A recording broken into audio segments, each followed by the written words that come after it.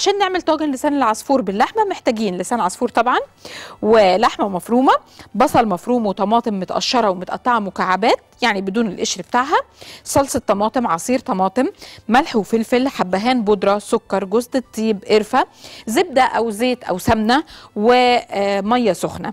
آه، علشان نعمل الطاجن ده آه، هبدأ في اتنين واك علشان أنا عايزة أحمص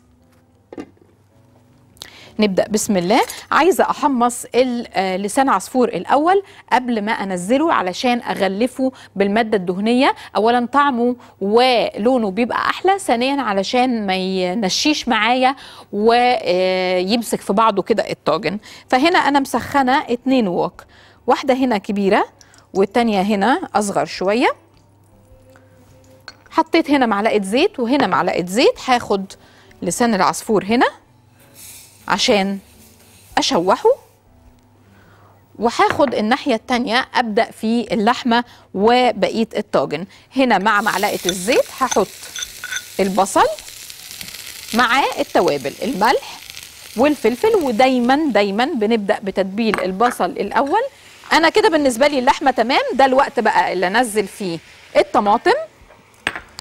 معلقة السكر طالما في طماطم أو عصير أو آه صلصة وده عشان نعادل حموضة الطماطم لأن ناس كتير بتسأل ليه. وآدي الصلصة وآخد بقى التقلبتين أنا أسف. نحطه هنا.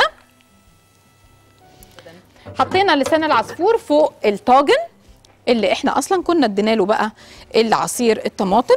نبتدي بقى نقلب كله يدخل مع بعض وإذا حسينا إن إحنا محتاجين آه شوية مية. هنحط شوية مية بس على شرط إنها تكون سخنة. غير كده خلاص قدامنا حل من الاتنين زي ما قلت لكم.